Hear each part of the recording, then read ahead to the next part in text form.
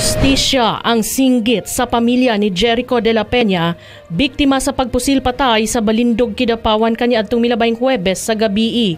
Giila sa mga kabanay si Jericho, partikular ang stepmother ni Ini nga maoy nagpadako og dugay nang nanimuyo sa ilahang poder nga buutan og wala kini igdungog nga adunay nakakontra. Wala man gyud na siya niingon sa amua nga wala gyud na siya gisulti nga mami mo na mo na eh, secretive lagi kay nga bata. Kagahapon na pa siya diri sa inyong ano? Napa siya diri. Maayo pa kayo iyang ano, puro lang puro siya ano, puro lang siya mami, puro lang siya kuan sa kuha kay di ito. Manamilit na di siya sa kuha. Tanan sugo, minatuman niya kay bisag ulan nagpalit og tubig kay mo siguro to ang last nga i- ibilin sa ako ah. Doy, pasayluwa ko, doy, palangga ka ni mami, ug daddy, doy. Pasayluwa, wala ka na mo na ampingan. wala ka na mo na dalagdagong, doy. Kung kinsa man to nakiway konsensya, batian ninyo ang kasakit namo karon. Kung naminaw ka man karon, wala kay kasing-kasing kung kinsa ka man. Kinuunay bahala sa imuha kung nakasala ako pag umangkon. Inyong tagi-taga ang chance nga magbag-o. Kay usa lang na siya ka bata, bata noon pa na, 16 pa, 18, 18 pa edad, ay 19. Ang usa ka tao na pa'y pagbag-o. Gikalas yung kinabuhi sa usa ka bata noon. Saysay sa mother-in-law ni Ini, bago mahitabo ang insidente, aduna kunoy mitawag sa biktima ug saysay sa nakadungog nga kabanay ni Ini, misulti matud pa ang biktima nga dili na kini gustong mugawas gikan sa ilang panimalay. na ay nagtawag sa iyaha. Ya, nadunggan sa kong isa ka anak, ni ada nga dili lagi kumugawas bay, dili kumugawas. Nya, natingala na lang man ni nga nawala siya kalit.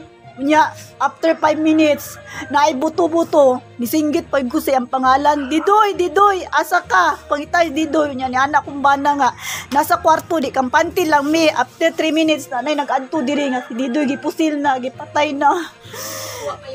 Gikuha iyang cellphone. Gikuha sab ang cellphone ni Ini ug sa dihang gisulayan matud pa og kontak, igo ra kuno madungog ang katawa sa nakatubag ni Ini. Gikuha iyang cellphone. Bright yung kaayo. Walay nakabalamang kung asa ka niyang cellphone. Wala. Gitawagan namo. Napay ni tubag. Nagkatawa pa. Nalipay. So gitawagan ninyo after na wala, gitawagan niyo ang cellphone. Gitawagan namo. Nya, ni tubag. Pagka magtubag, kay suko naman kayo ang kuya. Na, mura siyag nalipay. Pagkahuman, ikaduha nga tawag kay tawagan punta namo gatututot na ang cellphone di na makontak Dako ang pagtuos sa pamilya sa biktima nga may koneksyon ang pagpusil ni Ini sa nahitabong pagdunggab patay sa ginganlag Marco kung asa witness ni Ini si Jericho sa maong panghitabo. Si Jericho ma'am, before wala ba kayong nadunggan ma'am nga iyang nakaaway? wala ka, ak- ako na bal kat kuan katong nagwitness siya sa usa ka insidente. Bisa ka insidente nga barkada man daw niya.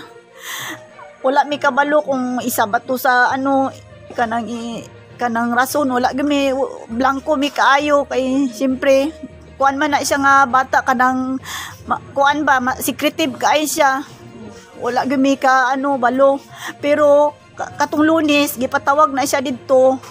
Nagpirma man siya affidavit nga witness Sa pikas bahin gisaysay sab sa usa ka tag-iya sa panimalay kung asa nakahimo pa sa pagsulod ang biktima human kini pusila. Bale mga ano to siya sir, ah, 7.15 ata sa gabi eh. So nagawalis ko sa terrace, tapos tingala ko nga naay kanang kusog kay nga buto. So abi na ko nga pikulo lang or fireworks diri sa pikas ah, I mean sa silingan kay anniversary nila ba. So gunshots na di ay to tapos tingala ko nga naay kanang tao nga nagasulod diri. Tapos nagasunod sa yaha tong um gapusil. Mao to nga So ako nagdagan ko pasulod pero nakita na ko siya nga naglibot siya sa sa likod Mm. which is na dito ang amo ang kusina. So ako ah, pagsulod na ko kay dapat ang diretso ko magawa sa ah, kitchen nga uh, tawag na portahan. Mhm. Nya nakitaan man ako ang victim nga gi-open niya ang portahan tapos nagkadugo niyang dughan. I don't know if kanang gipusil to siya. Wa- wa pero kay na oh wala koy idea pero naamang gud toy gunshots kay ang ang sa portahan ay the police Mm. So, so ako nag ano ko nagdagan na pud ko pagawas diri sa entrance na. Sa entrance. Nga nakalak pag ang door kay gilak gani sa kong manghud kay abi nga dili na mag magtuyok. So, kato nakagawas ko and then nasugatan ako diha tong lookout nila. Mhm. Ay tong lookout. Duha lang man sila kabuok. Giklaro sab ni ini nga maglisod siya pag-ila sa identity sa suspetsado nga maoy mitira sa biktima. Ma'am, na klaro nimo ang dagway sa mga suspect. Wala sir kay nakakap man sila black tapos Mhm. nakamask og black, naka-hoodie og black, tanan black pati ang iyahang lookout. So wa gid kay kuan sila ha identity sa di mo sila mailham gyud. Wala, wala gid Oo. ko'y idea. Sa pagkakaron padayon ang ginahimong investigasyon sa mga kapulisan mahitungod ni ining insidente sa pagpamusil. Gikan sa Barangay Balindog, Syudad sa Kidapawan, kini si Patrol 29, Joy May Malinaw para sa Ronda News.